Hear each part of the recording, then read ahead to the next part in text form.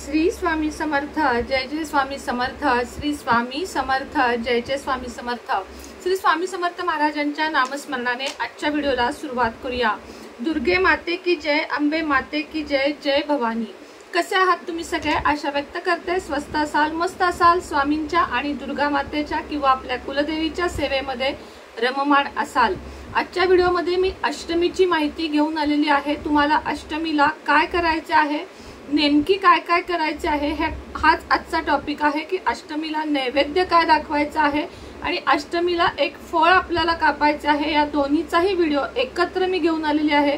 कारण अष्टमीचे अजून आपल्याला उपाय देखील करायचे आहेत. म्हणून दोन्हीचीही माहिती एकाच व्हिडिओमध्ये मी घेऊन आलेली आहे. त्यामुळे व्हिडिओ स्किप न करता संपूर्ण बघा जेणेकरून तुम्हाला संपूर्ण माहिती मिळेल. चॅनलवर नवीन असाल तर सबस्क्राईब करा. ऑलचं बटन क्लिक करा जेणेकरून माझा येणारा प्रत्येक नवीन व्हिडिओ तुमच्यापर्यंत पोहोचू शकेल. तर सप्तमी उद्या आहे आणि परवा आहे अष्टमी. अष्टमी हा महा नवरात्रीमधला महा मोठा असा दिवस मानला जातो मोठा योग मानला जातो आणि या दिवशी देवी जागृत रूपात असते असे देखील म्हटले जाते. महिषासुराचा वध करून ती थकलेली असते असे देखील म्हणजे शास्त्र सांगते म्हणून तिला या दिवशी आपल्याला नैवेद्य दाखवायचा असतो तिला या दिवशी आपल्याला शांत करायचं असते कारण ती खूप मोठ्या रागात असते. महिषासूरचा वध केल्यामुळे अशा त्या तामसी वृत्तीच्या राक्षसाचा वध करणे ही काही सोपी गोष्ट नव्हती आणि तो वध तिने केल्यामुळे ती खूप थकलेली असते आणि आपल्याला काम असते आपले त्या दिवशी तिला भोग चढवणे. आणि एक प्रकारचा बळी देणे म्हणतात. ज्याला बळी देणे म्हणतात त्याच्यात चुकीचा अर्थ नाही प्राण्याचा नाही. तर जे फळ मी तुम्हाला सांगते ते कापायचे असते या दिवशी आणि मोठ्या मोठ्या होमांमध्ये सुद्धा हे फळ कापून टाकतात. दोन प्रकारचे असतात. एक म्हणजे कोहळा आणि दुसरे म्हणजे जायफळ. घरामध्ये आपण जो होम करतो त्यामध्ये होम झाल्यावर बळी म्हणून जायफळाचे दोन तुकडे करायचे. आणि ते होमामध्ये टाकायचे म्हणजे आपल्याकडून देवीला ते बळी अर्पण झाला. राक्षसाला आता पूर्वी कसं ते बाकीचे काय काय बळी द्यायचे आपण घरामध्ये ते करत नाही आणि करू पण नये चुकूनही मुक्या प्राण्याची हत्या करू नये. आपल्याला घरामध्ये काय बली द्यायचं आहे तर घरामधल्या होमामध्ये जायफळाचे दोन तुकडे करायचे आहेत आणि आपल्याला होमामध्ये टाकायचे आहेत. आता दोन नंबरला येतो तो कोहळा कोहळा फळाचं विशेष महत्त्व हे आहे की कोहळा हा निगेटिव्हिटी आपल्याकडे ओढतो आणि पॉझिटिव्हिटी पसरवतो. म्हणजे आपल्या घरातली पॉझिटिव्हिटी टिकवून ठेवतो आणि जी काही निगेटिव्हिटी समजा कुणी आला आहे आपल्याकडे बघा आपल्यालाही माहीत नसतं की आपल्याकडे कोण कोणत्या नजरेने येत आहे. तर आपल्याकडे येणाऱ्या प्रत्येक व्यक्तीची नजर आपल्याला माहिती नसते आणि त्यासाठी आपल्या हिंदू धर्मामध्ये घरोघरी तुम्ही बघाल की घराच्या आत किंवा घराच्या बाहेर लाल कपड्यामध्ये कोहळा बांधलेला असतो. खरं तर हा घराच्या आतमध्ये आपल्या उजव्या हाताला बांधायचा असतो आणि कोहळा बांधल्यामुळे आपल्या घरातील निगेटिव्हिटी संपूर्ण कोहळा स्वतःकडे खेचून घेतो आणि काही जणांकडे इतकी निगेटिव्हिटी असते की लावल्या लावल्या चार दिवसामध्ये तो खराब होतो त्यातून पाणी निघू लागते. अशा वेळेस तो काढायचा लगेचच विसर्जन करायचा पाण्यामध्ये टाकायचा मासे खातात आणि शनिवारी कुठल्याही शनिवारी दुसरा आणून लावायचा. काही ठिकाणी अमावस्या टू अमावस्या बदलण्याची सुद्धा प्रथा आहे. तर काही ठिकाणी पहिला कोळा खराब झाल्यानंतर मगच दुसरा कोळा कापण्या सॉरी कोळा लावण्याची देखील प्रथा आहे. हा कोळा लावताना अमावस्येला किंवा शनिवारी हा आणल्यानंतर सगळ्यात प्रथम स्वच्छ धुवायचा असतो. कारण ह्याला खूप जणांचे हात लागलेले असतात. सर्वप्रथम हा स्वच्छ करायचा असतो पुसायचा असतो. त्यानंतर शेंदुराने ह्याच्यावर त्रिशूळ काढायचे असते स्वस्तिक ओम काढायचा असतो आणि त्यानंतर थोड्यासा त्याची पूजा करायची. हळदी कुंकू अक्षता हे घालून त्याची पूजा करायची असते. आणि त्यानंतर तो लाल कपड्यामध्ये बांधून घराच्या आतमध्ये उजव्या हाताला बांधायचा असतो. यामुळे तुमच्या घरामध्ये कुठलेही वाईट संकट इडा पिडा आला बला म्हणतात ना ती तुमच्यापर्यंत येत नाही. हा झाला अमावस्येचा किंवा शनिवारचा उपाय म्हणजे हा अमावस्या टू अमावस्या करायचाच असतो. कोहळा किंवा नारळ वाढवणे ही कामे करायचीच असतात. आत्ता आपल्याला अष्टमीचं बघायचं आहे. तर अष्टमीमध्ये तुम्हाला काय करायचं आहे? कोहळा घरी घेऊन यायचा आहे सप्तमीला. म्हणजे उद्या आणला तरीही चालेल.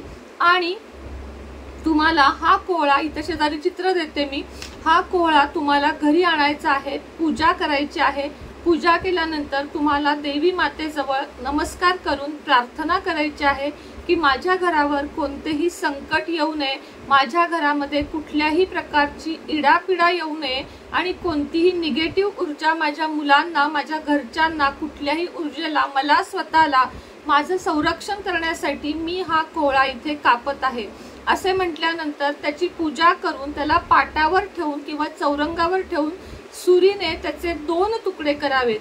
त्यातला एक भाग दिवसभर त्या दिवशी अष्टमी दिवशी देवघरात ठेवावा आणि दुसरा जो आहे तो विसर्जन करावा. अष्टमीला दिवसभर ठेवल्यानंतर नवमीला हा कोहळा उचलावा आणि तुम्हाला हा कोहळा दुसरा कोहळा सुद्धा विसर्जन करायचा आहे पाण्यामध्ये किंवा एखाद्या झाडाखाली प्राण्याने खाण्यासाठी ठेवला तरीही चालेल. कुठेही अशा ठिकाणी ठेवू नका जेणेकरून एखाद्याला काहीतरी वाईट वाटेल किंवा काहीतरी चुकीचा अर्थ काढला जाईल. कारण हा जो उपाय आहे तो आपण आपल्या चांगल्यासाठी करत आहोत ना की कुणाच्या वाईटासाठी. त्यामुळे कुठेतरी चौकात वगैरे असं टाकू नका. काही जागा नाही मिळाली तर डायरेक्ट कचरा कुंडीत घंटा गाडीत टाकलात तरीही चालेल. कारण मुंबईसारख्या ठिकाणचे प्रश्न येतात की आमच्याकडे वाहते पाणी नाही. तुम्ही समुद्रात सुद्धा सोडू शकता विहिरीत सोडू शकता. तलावात सोडू शकता जेणेकरून मासे खातील आणि काहीच जागा नसेल झाडाखाली झाडही नसेल तर तुम्ही सरळ डस्टबिनमध्ये तो टाकून द्या. कारण आपल्याला त्याचा चांगला वापर काही करायचाच नाही आहे त्यात सगळी निगेटिव्हिटी आलेली आहे त्यामुळे आपल्याला तो नको आहे. म्हणजे तो आपल्याला नकोच आहे. त्यामुळे तो तुम्ही डायरेक्ट डस्टबिनमध्ये टाकून घंटागाडीमध्ये तो गेला तरीही हरकत नाही. अशा प्रकारे आपल्याला त्या कोहळा हे करायचा आहे. आणि जर तुमच्या इथे अष्टमीला कुठे होम असेल शेजारीच तुमच्या मंडळ असेल मोठं आणि होम असेल आणि तिथे जर परवानगी देत असतील तर ते दोन्ही कोळे उचलून तुम्ही होमामध्ये टाकलेत तर अतिशय उत्तम. आता काही मंडळांमध्ये टाकून देतात तर काही मंडळांमध्ये नाही टाकून देत.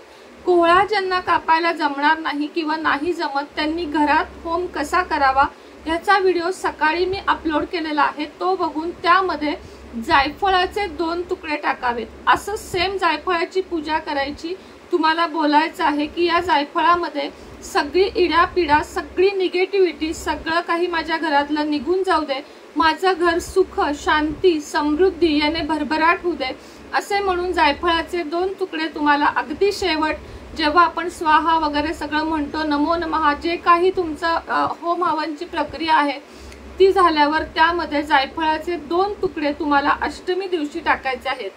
शक्यतो होम हा अष्टमी दिवशीच करायचा आहे. आता बोलूया नैवेद्याविषयी की आपल्याला अष्टमीला नैवेद्य देवीला काय दाखवायचं आहे. अष्टमीला नैवेद्य देवीचा आवडीचा म्हणजे तांबूल.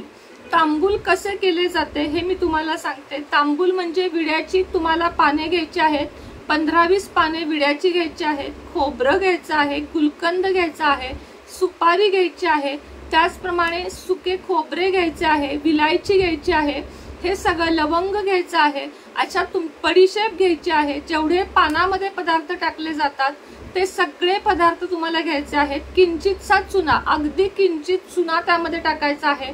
आणि हे सगळे खलबत्त्यात कुटायचे आहे किंवा मिक्सरला बारीक करायचे आहे.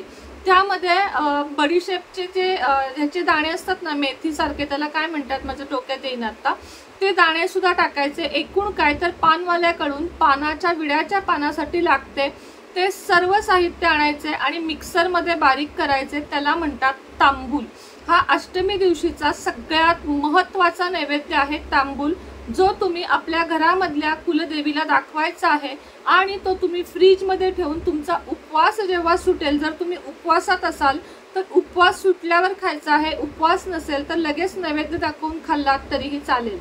दुसरा नैवेद्य महानैवेद्यामध्ये ताटामध्ये जेव्हा आपण नैवेद्य दाखवणार आहोत तेव्हा शेवयाची किंवा मखाण्याची खीर दाखवायची आहे. शेवयांची खीर तर सगळ्यांनाच येते. मखाने म्हणजे कमळाच्या बिया ज्या लक्ष्मी मातेला अत्यंत जास्त प्रिय आहेत. मखाण्याचा नैवेद्य तुम्ही आधी देवीला दाखवायचा आहे. त्यानंतर ते मखाने तुपावर भाजायचे आहेत आणि ते आणि ड्रायफ्रुट्स दोन्ही एकत्र तुपावर भाजायचे आहेत मिक्सरमधून काढायचे आहेत. आणि जशा आपण शेवया दुधामध्ये शिजवतो तसे ते मखाने दुधामध्ये चांगले शिजवून घ्यायचे आहेत. आणि त्यानंतर त्यामध्ये साखर घालून थोडा वेळ उकळी आणायची आहे. ही खीर गार झाल्यानंतर देवीला नैवेद्य म्हणून दाखवायचे आहे. देवी तुमच्यावर अत्यंत प्रसन्न होईल. जर हे दोन नैवेद्य तुम्ही अष्टमी दिवशी दाखवलेत आणि हे फळ जर तुम्ही देवीसमोर कापलेत हे दोन्ही गोष्टी तुम्हाला अष्टमी दिवशी आठवणीने करायच्या आहेत. कारण अष्टमी तिथी ही सगळ्यात मोठी तिथी मानली जाते. अष्टमीला कन्यापूजन सुद्धा करायचे आहे. कन्यापूजनचा व्हिडिओ सुद्धा आपल्या चॅनेलवर अपलोड केलेला आहे. खाली माझा फोटो दिसत आहे त्याच्यावर दाबावरती व्हिडिओज येईल. ओळीनं तुम्हाला व्हिडिओज दिसतील. अष्टमीला हवन करायचे आहे. अष्टमीला तुम्हाला कन्यापूजन करायचे आहे. अष्टमीला अजूनही तुम्ही जर दुर्गा सप्तशतीचा पाठ केला नसेल तर एक पाठ म्हणजे संपूर्ण ग्रंथ अष्टमी दिवशी तुम्हाला सकाळी सकाळी किंवा संध्याकाळी आठवणीने करायचं आहे. सिद्धकुंजिका स्तोत्र या दिवशी सोळा वेळा तुम्हाला म्हणायचे आहे. श्री सुप्त तुम्हाला सोळा वेळा म्हणायचे आहे. व्यंकटेश स्तोत्र एकदा म्हणायचे आहे. लक्ष्मी अष्टकम सोळा वेळा म्हणायचे आहे. या सगळ्या सेवा तुम्हाला अगदी आठवणीने अष्टमी दिवशी करायच्या आहेत. आणि मातेला मनातल्या मनात प्रार्थना करायची आहे की हे माते माझ्याकडून या नऊ दिवसामध्ये या आठ दिवसामध्ये काहीही चुकले असेल तर मला तू माफ कर आणि मला तू साथ दे. माझी मुलं ही तुझी मुलं समजून त्यांचा सांभाळ कर त्यांचा सगळं काही पालनपोषण कर. मी तर प्रत्येक देवीकडे बघून अगदी पहिल्यापासून माझी लग्न झाल्यापासूनची सवय आहे की माझी मुलं तुझी मुलं समजून माते रक्षण कर. हा शब्द तोंडातून येतो. बाकी आजपर्यंत मी देवीकडे काहीही कधीही मागितलं नाहीये. फक्त आणि फक्त माझ्या मुलांचं रक्षण कर माझ्या कुळाचं रक्षण कर. इतकीच प्रार्थना मी करते आणि तुम्हीही करा. माता कुलदेवी आपल्या आयुष्यात आपल्या कुटुंबासाठी खूप जास्त महत्वाची आहे. कुळाचार न चुकता न आळस करता करत जा. प्रत्येक शुक्रवारी दुर्गा सप्तशतीचा पाठ करत जा. अनुभव काय येतो ते मला नक्की सांगा. आजच्या व्हिडिओमध्ये इतकीच माहिती होती. पुन्हा भेटेन नवीन व्हिडिओसोबत नवीन विषयासोबत.